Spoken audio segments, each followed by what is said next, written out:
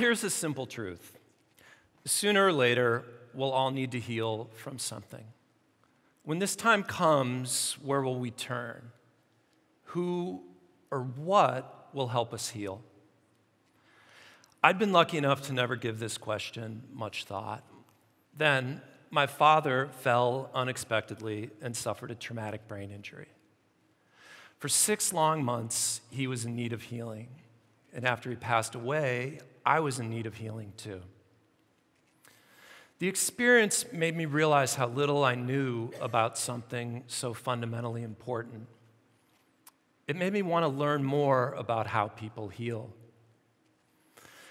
I've been a photographer my entire life and a filmmaker for the past decade. It's how I make sense of the world. So I set out to interview and photograph a wide range of ordinary people who'd managed to heal in the face of extraordinary adversity. The word healing comes from the Old English root healen, which means to make whole. The word health shares a similar root. Here's the simplest way to think about healing health is when we're whole, healing is the work of making ourselves whole again. Things like accidents and illness rob us of this wholeness. Brian Joas understands this well. One minute he was out for his morning bike ride. The next minute he was hit from behind and spent 90 days in the hospital recovering from a broken back, hip, and ribs. I'm embarrassed to say now that when I first met Brian, my mind, my questions went straight to the why. Why did this happen? Who hit you? Did they catch him? Were they drunk? This is what Brian had to say. You know, finding out who hit me uh, doesn't help me heal any faster than I, I am. Um, so I haven't spent any time giving it much thought. Brian taught me my first lesson that you can't always control what happens to you, but you can always choose how you react to it. Ashley Gleitz, a 24 year old who was just diagnosed with breast cancer, understood this lesson well.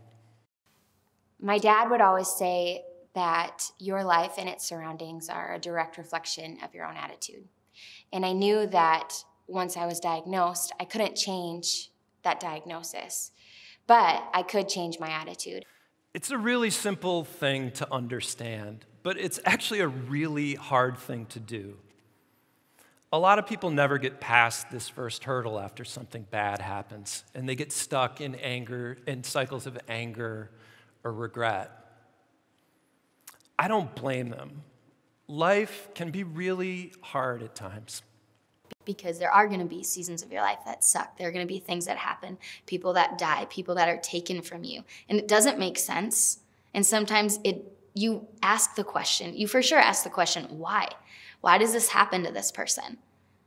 But I just know that there is, there's hope. There's hope. There's a different hope. And why not? Why not trust in something? Why, why not believe in something that can give you that peace and that joy and that comfort? Rachel was Ashley's best friend and there by her side on her entire journey. She also grew up a preacher's daughter, which I think made her uniquely qualified to have things to say about healing.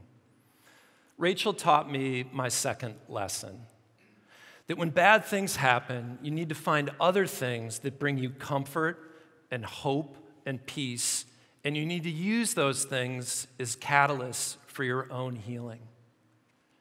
I watched different people do this in their own beautiful ways everywhere I went.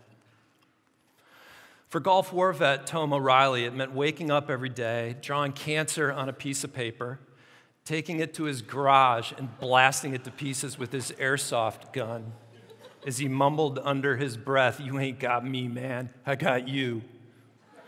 That was Tomo's way of dealing with the rare melanoma that took his eye. Cyteria Knight, a social worker recovering from a stroke, had a different approach. She chose to love and be loved by her dog, Halo. Cyteria told me that she's just so cute and furry, and she's always there for me being so chill. And without her, I don't know how far along on my recovery I'd be. Firefighter and Gulf War vet Juan Martinez chose a tried and true, true approach. He leaned into his deep faith in God. Juan told me he knew he was fixing to get into a fight when his son was diagnosed with cancer, but he had no doubt he'd be able to get through it with God by his side. Tanya Bailey chose a more secular approach backyard chicken therapy. It might sound odd, but after she was diagnosed with breast cancer, she would have to get chemo. And this is how she described what chickens did for her. I'd come back from my chemo and I'd go out into the backyard, and they all have personalities and they're so happy to see me. And for that moment, I'm not thinking about what's going on with me. Mary Shea Mondashar lost her 35 year old husband, Spiro Pina, to brain cancer. Afterwards, she changed careers and became an oncology nurse. She told me that being able to provide care for others in the same situation Spiro and she were in was part of her own healing process. Kevin Admonson was into trucks and wide open country back roads he knew like the back of his hand. While recovering from attempted suicide, Kevin's family taped a picture of his beloved Chevy Silverado to the foot of his hospital bed.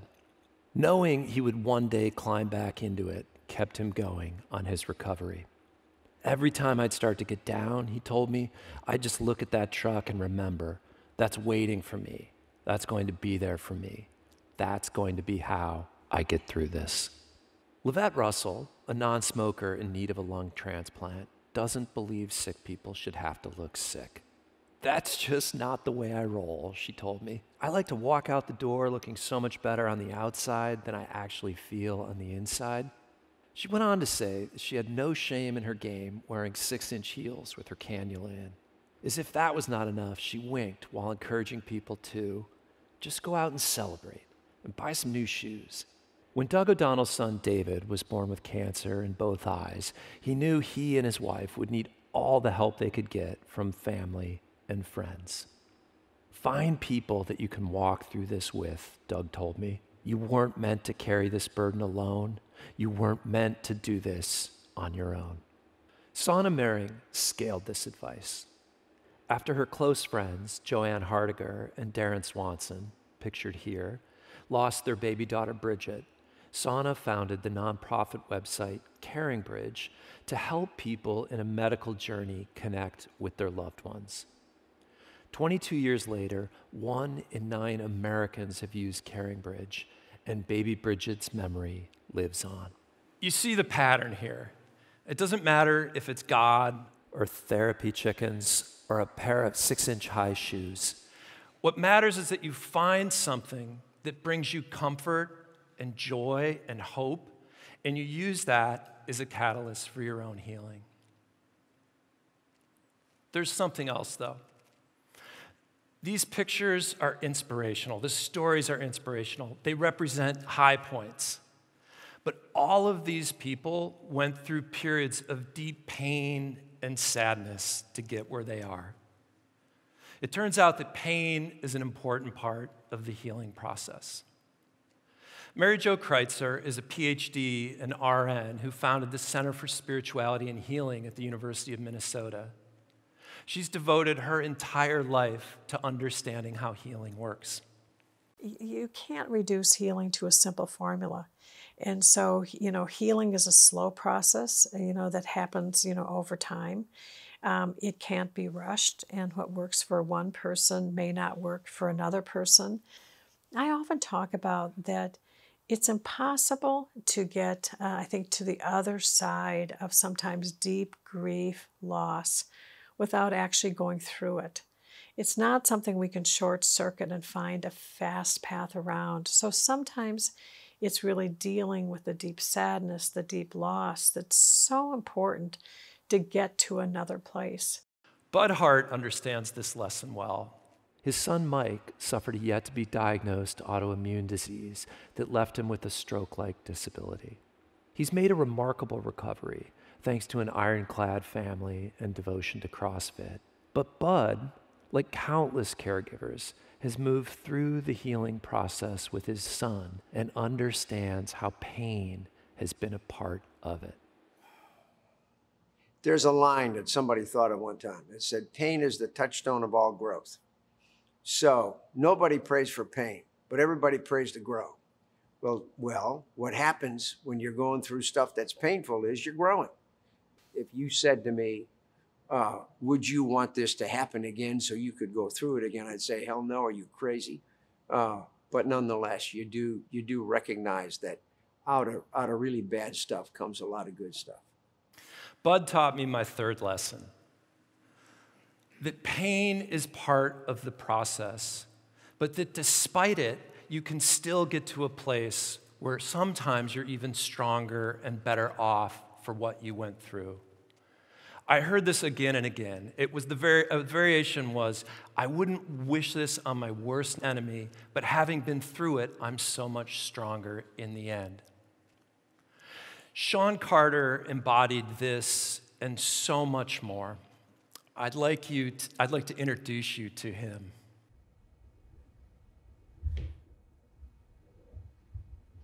Can't I say the situation I put myself in sucks? Without a doubt it has, and does. When I was 22, I was invincible. Until we crashed into a tree where I was sitting. I lost everything about who I was. Sometimes life just happens, and there's no way to go back in time to change what happened. All you can do is move forward. It took 10 years to get rid of my wheelchair and start walking with my walker. I get down at times, but it's only for a moment. I know I'm still improving. I'm just so grateful to always have the motivation to keep pressing forward. I sign every email I write with, I will talk, I will walk again. Because I will.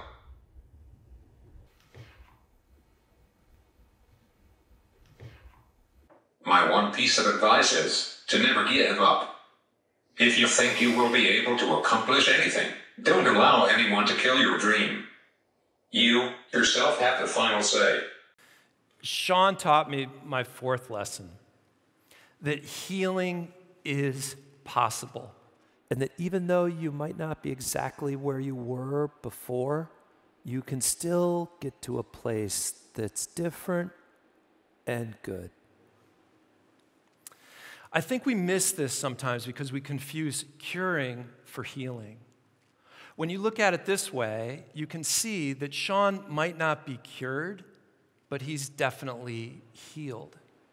Before I set out on this journey, I'd never thought much about any of this. Two years and 38 interviews later, I've barely scratched the surface of what there is to know about healing. That said, I'm in a much better position now to heal and to help people I love who are in need of healing because I've learned these things. You can't always choose what happens to you, but you can always choose how you react to it. You need to find things that bring you peace and comfort and use them as catalysts to heal. There are no shortcuts around the pain, but healing is possible. And while you won't be exactly where you were, you can still get to a place that's good. When I started this project, I was worried that spending time with people who'd had so many bad things happen to them would be depressing. It wasn't.